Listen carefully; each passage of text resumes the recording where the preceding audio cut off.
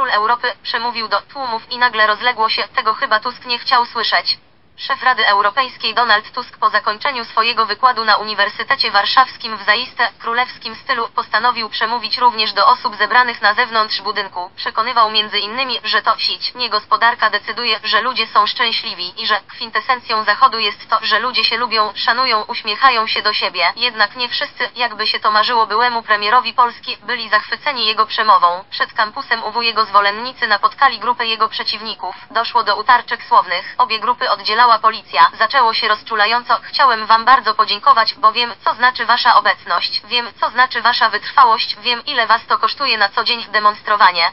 Zakochaliście się w wolności, macie głębokie przekonanie, że nigdy nikomu tego już nie oddacie, nie będzie takiej siły ani tu, ani tam, która zabierze wam waszą wolność i niepodległość. To wiem na pewno, oświadczył Tusk zwracając się do zwolenników zebranych przed Uniwersytetem Warszawskim. Pamiętam was, gdy broniliście sądów, pamiętam was, szczególnie kobiety i dziewczyny, kiedy broniłyście swoich praw z czarnymi parasolkami. Wiem bardzo dobrze, że jeśli jesteście razem, jesteście naprawdę uparci. Jeśli ci z góry i ci z boku widzą, że jakiejś sprawy nie chcecie oddać i jesteście gotowi się o nią starać, a nawet, nie przesadzam, walczyć, to wtedy ustępują, powiedział szef Rady Europejskiej. Chcę Wam bardzo podziękować, że mimo czasami smutku i takich wzruszeń nie zawsze pełnych entuzjazmu, to jednak utrzymujecie ten wigor. To jest kapitalny fenomen, powiedział były premier.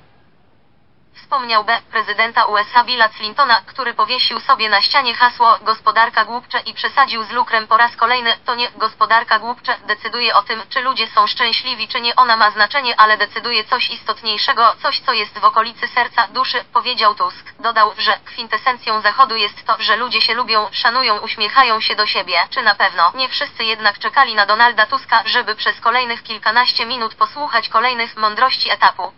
Po tym jak szef Rady Europejskiej Donald Tusk wygłosił wykład na Uniwersytecie Warszawskim, przed kampusem UW zwolennicy byłego premiera napotkali grupę jego przeciwników, członków klubów Gazety Polskiej. Demonstrujący mieli ze sobą transparenty Nie chcemy Niemca, nie chcemy Ruska ani powrotu Donalda Tuska, Tusk, Gronkiewicz za przekręty do pudła, PO, PSL, kod obywatele RP, nowoczesna równa się Targowica. Skandowali też Donald Kłamca. Zwolennicy szefa Rady Europejskiej odpowiadali okrzykami Konstytucja, Polska w Unii, jesteśmy dumni, Donald Tusk.